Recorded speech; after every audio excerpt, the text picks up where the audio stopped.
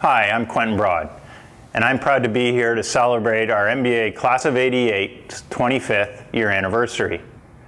A few years ago, in memory of our classmate Greg Brophy, the Class of 88 put in place a scholarship.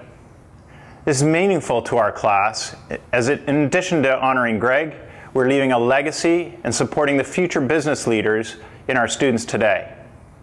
A financial opportunity like this scholarship has a great impact on a student's future and could be the difference in the chance to pursue an interesting career. On October 5th, DeGroote launched a month-long challenge to support the MBA 88 scholarship and the DeGroote Experience Fund.